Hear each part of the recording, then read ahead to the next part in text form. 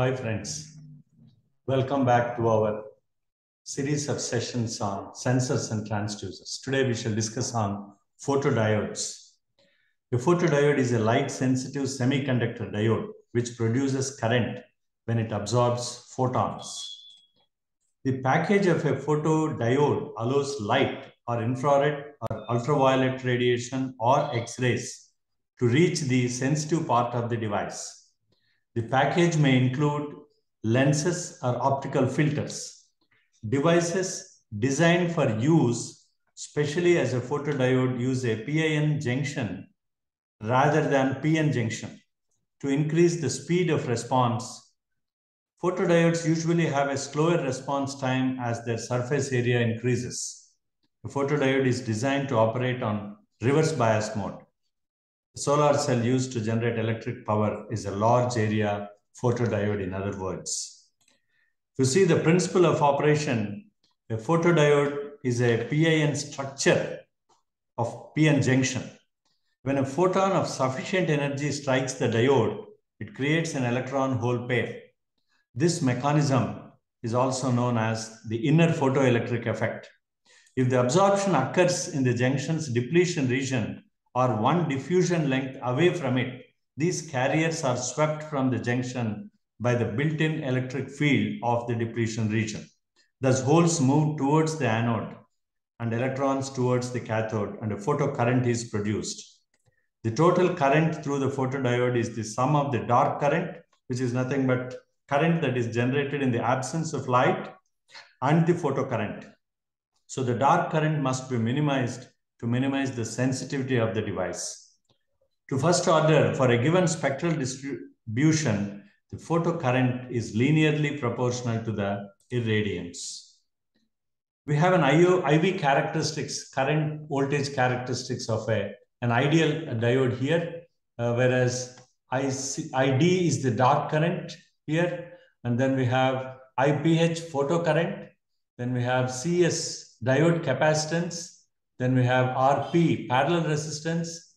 Then IR noise current. Then we have RS series resistance. Then RL load resistance.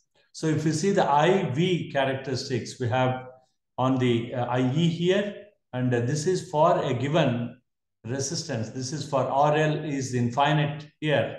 And then you will see RL is much, much less than RD, diode parallel resistance here, what we are uh, uh, seeing. And then E1 here is much lesser than E, E5, E1, E2, E3. That's how the, uh, because it is on the negative side. So this is, uh, we have to, here it is on the photovoltaic mode as long as it is in the uh, forward bias and then reverse bias, it is on the photodiode mode. That is exactly what we have to understand the IV characteristics of the photodiode. The linear load lines represent the response of the external circuit I, that is the applied bias voltage minus the diode voltage divided by the total resistance. That's the total current that we get. The points of intersection with the curves represent the actual current and voltage for a given bias, resistance, and illumination. So in photovoltaic mode, that's a zero bias, photocurrent flows into the anode through a short circuit to the anode, cathode. If the circuit is open or has a load impedance, restricting the photocurrent out of the device, a voltage builds up in the direction that forward biases the diode, that is anode positive with respect to cathode. If the circuit is shorted or the impedance is low, a forward current will consume all or some of the photocurrent. This mode exploits the photovoltaic effect, which is the basis for solar cells. A traditional solar cell is just a large area photodiode for optimum power output, the photovoltaic cell will be operated at a voltage that causes only a small forward current compared to the photo current. Now, if you see it in the photoconductive mode, which is nothing but the photodiode mode, the diode is reverse biased in this. That is, the cathode driven positive with respect to the anode. This reduces the response time because the additional reverse bias increases the width of the depletion layer, which decreases the junction's capacitance and increases the region with an electric field that will cause electrons to be quickly collected. The reverse bias also creates a dark current without much change to the photocurrent. We see the materials used to make a photodiode, which are critical to defining its properties because only photons with sufficient energy to excite electrons across the material's band gap will produce significant photocurrents. Materials commonly used to produce photodiodes are silicon, which has a which uh, can handle the electromagnetic spectrum wavelength of 190 to 1100 nanometers, germanium from 400 to 1700 nanometers, indium gallium arsenide from 800 to 200 2600 nanometers, lead to sulfide less than 1000 to 3500 nanometers, and mercury cadmium telluride, which are the next generation, 400 to 14,000 nanometers. So because of their greater band gap, silicon-based photodiodes generate less noise than germanium-based photodiodes. Binary materials such as molybdenum sulfide and graphene emerged as new materials for the production of photodiodes of late. Then there are unwanted and wanted photodiode effects. Any PN junction, if illuminated, is potentially a photodiode. Semiconductor devices such as diodes, transistors, and ICs contain PN junctions and will not function correctly if they are illuminated by unwanted electromagnetic radiation, which is nothing but the light of wavelength suitable to produce a photocurrent. This is avoided by encapsulating devices in opaque housings. If these housings are not completely opaque to highly energy generation like ultraviolet, X-rays and gamma rays, diodes, transistors and ICs can malfunction due to induced photocurrents. Background radiation from the packaging is also significant. Radiation hardening mitigates these effects. In some cases, the effect is actually wanted. For example, to use LEDs as light sensitive devices or even for energy harvesting, then sometimes called light emitting and light absorbing diodes, LEADS. Then let's see the critical performance parameters of a photodiode that include spectral res responsivity, dark current, response time, and noise equivalent power. You see the spectral responsivity, which is nothing but the ratio of the generated photocurrent to incident light power, expressed as A by W when used in photoconductive mode. The wavelength dependence may also be expressed as a quantum efficiency or the ratio of the number of photo-generated carriers to incident photons, which is a less unitless quantity. Then we have the dark current. The dark current is the current through the photodiode in the absence of light when it is operated in a photoconductive mode.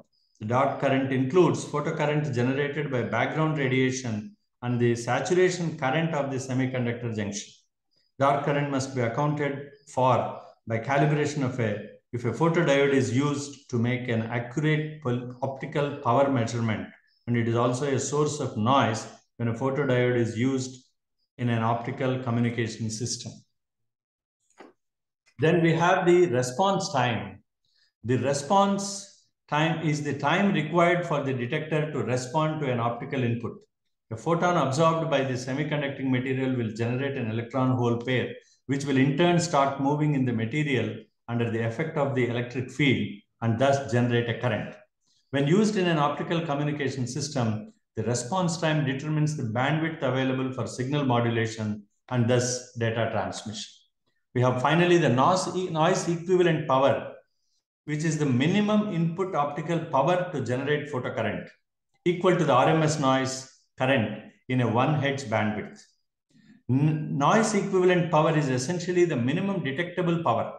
When a photodiode is used in an optical communication system, all these parameters contribute to the sensitivity of the optical receiver, which is the minimum input power required for the receiver to achieve a specified bit error rate. Then let's see the applications.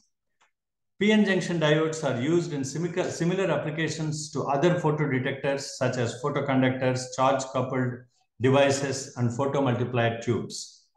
They may be used to generate an output which is dependent upon the illumination, whether it is analog or measurement, or to change the state of circuitry in terms of digital, either for control and switching or for digital signal processing.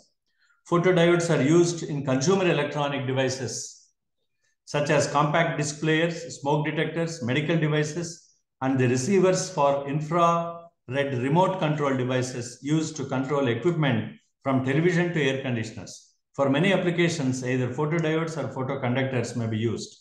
Either type of photosensor may be used for light measurement as in camera light meters or to respond to light levels as in switching on street light after darkness. Photosensors of all types may be used to respond to incident light or to source of light which is part of the same circuit or system. A photodiode is often combined into a single component with an emitter of light, usually a light emitting diode, either to detect the presence of a mechanical obstruction to the beam or to couple two digital or analog circuits while maintaining extremely high electrical isolation between them. Often, for safety, the combination of LED and photodiode is also used in many sensor systems to characterize different types of products based on their optical absorbance. Photodiodes are often used for accurate measurement of light intensity in science industry. They generally have a more linear response than photoconductors. They're also widely used in various medical applications such as detectors for computed tomography coupled with scintillators, instruments to analyze samples as in immunoassay and pulse oximeters. PIN diodes are much faster and more sensitive than PN junction diodes and hence are often used for optical communication and in lighting regulation. So that's all about the photodiodes. Hope you have enjoyed the session. Thank you.